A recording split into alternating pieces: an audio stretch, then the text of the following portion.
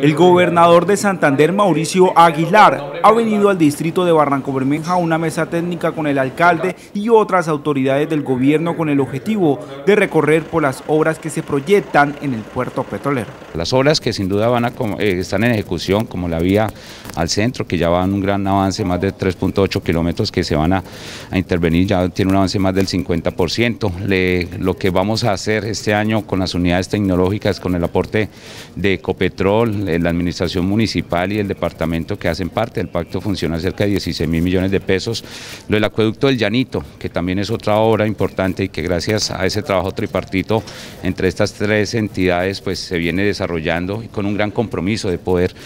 eh, culminando la obra, poder hacer una adicional para vincular a más familias beneficiarias. En ella anunció la pavimentación de 3.7 kilómetros de vías para facilitar la movilidad de estudiantes, campesinos, comerciantes y comunidad en general sin lugar a duda, la obra más importante de pavimentación por 4 mil millones de pesos, gracias al trabajo conjunto de estas entidades. Le hemos solicitado tomar ya las medidas urgentes de determinación y en otras vemos como ya está en fase de finalización, pero más nuevos capítulos que hemos abierto con la gobernación como la construcción de las unidades tecnológicas, ya celebramos convenio, estamos próximos a iniciar la fase de licitación de más de 16 mil millones de pesos, más de 40 aulas, auditorios, lo que hoy estamos viendo que por fin, después de dos años, eh, empezó el acueducto del Llanito. La construcción del primer coliseo de la zona, del cual ya presentaron su respectiva licencia. Por primera vez en la historia, las familias de la zona contarán con un sitio digno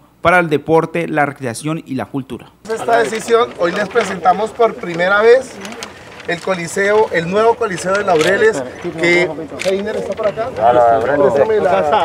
y que la entregamos ya con licencia de construcción acá, lista y con el acuerdo que vamos a celebrar con Ecopetrol para construir. De igual forma, la escuela será completamente reformada para niños, niñas y adolescentes que sigan construyendo sus sueños.